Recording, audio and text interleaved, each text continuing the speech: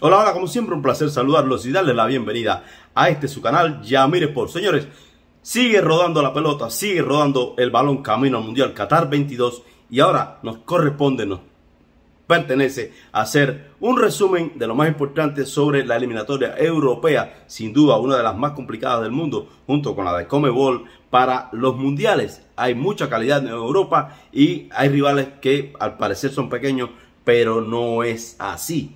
Realmente es, mucho, es muy competitiva. Vamos a comenzar por los grupos para hacer el resumen lo más pronto posible. En el grupo A, Portugal tiene 13 puntos, Serbia tiene 11, la sorprendente Luxemburgo tiene 6 puntos, después está Irlanda con 2 y Azerbaiyán con un solo punto. Ahí sin duda Portugal debe ser el clasificado y una opción para el segundo lugar sin duda debe ser Serbia. En cuanto al grupo B, Grupo B encabezado por España con 13 puntos, Suecia tiene 9, Grecia tiene 6, Kosovo tiene 4 y Georgia tiene un solo punto.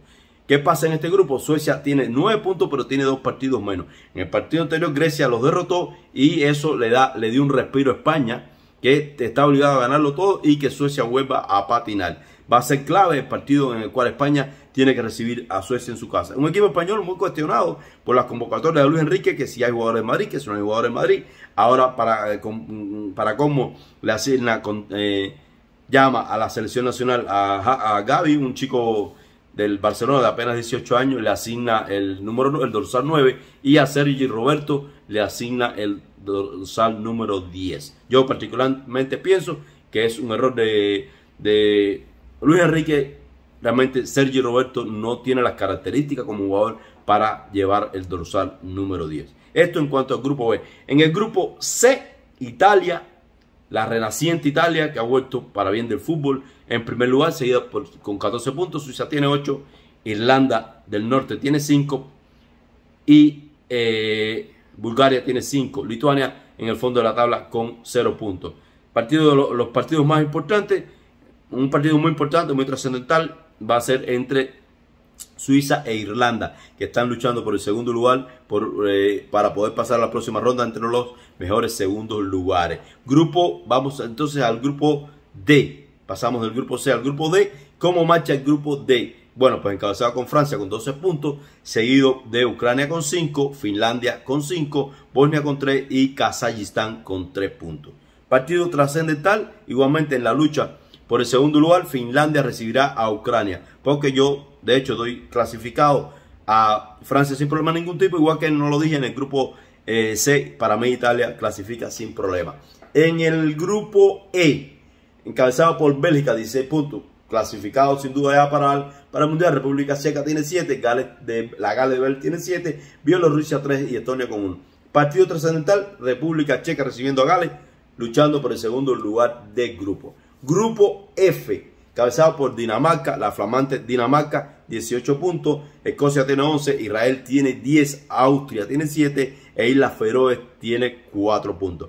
Partido más importante, Dinamarca recibiendo a Austria. Este partido es trascendental para Dinamarca, podría darle la clasificación, en mi opinión ya está clasificado, pero Austria se la juega también porque mm, está obligado a ganar. Grupo B, Países Bajos, Antigua Holanda tiene 13 puntos, Noruega tiene 13, Turquía tiene 8, Montenegro, Serbia y Montenegro tiene 5, Estonia, Letonia tiene 0 puntos y Gibraltar tiene 0 puntos. Partido trascendental, igualmente el Turquía-Noruega en la lucha por el segundo lugar. Grupo H, encabezado por Croacia, la Croacia de Modric con 13 puntos, seguida de Rumania con 13, poco la verás, Croacia, Croacia marcha primero, Después Eslovaquia tiene 9, Eslovenia tiene 7, Malta tiene 4, Chipre tiene 4. Partidos más importantes en este grupo, sin duda, sin duda, el Rusia-Eslovaquia en la lucha por el segundo lugar y Croacia recibiendo también a Eslovaquia. Este partido Croacia-Eslovaquia podría darle prácticamente la clasificación al equipo croata a,